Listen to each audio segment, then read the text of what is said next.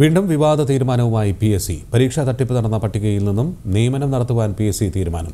Civil police officer തസ്തികയിലേക്കുള്ള ഏഴ് rank ലിസ്റ്റുകളിലും advice അയക്കും. പ്രതികളായ മൂന്ന് പേരെ ഒഴിവാക്കിയാണ് അഡ്വൈസ് അയക്കുന്നത്. ക്രൈംബ്രാഞ്ച് റിപ്പോർട്ടിനെ തുടർന്നാണ് തീരുമാനം. വിവാദമായ P S C armed police constable പരീക്ഷാ റാങ്ക് പട്ടികയിലുള്ളവർക്ക് ഒരാഴ്ചയ്ക്കുള്ളിൽ നിയമന ശുപാർശ നൽകും.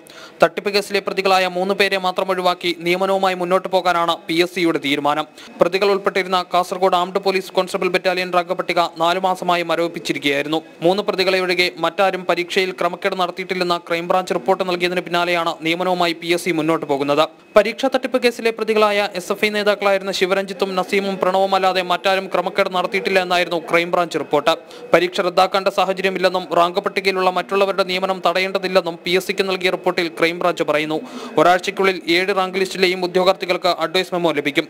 അഡ്വൈസ് മെമ്മോ ലഭിക്കുന്ന ഉദ്യോഗാർത്ഥികളിൽ ക്രമക്കേട് നടത്തിയ ആരെങ്കിലും കണ്ടെത്തിയാൽ അവർക്കെതിരെ നടപടി സ്വീകരിക്കാനും പി യോഗത്തിൽ തീരുമാനമായി. ജനം തിരുവനന്തപുരം.